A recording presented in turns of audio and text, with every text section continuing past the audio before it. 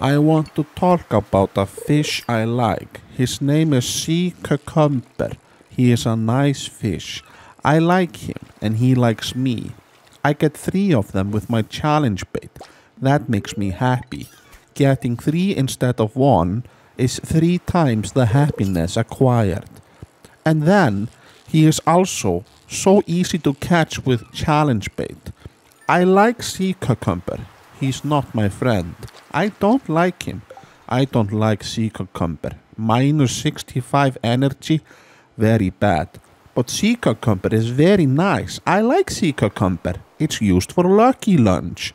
You need one sea cucumber per lucky lunch. I like it. It's very lucky.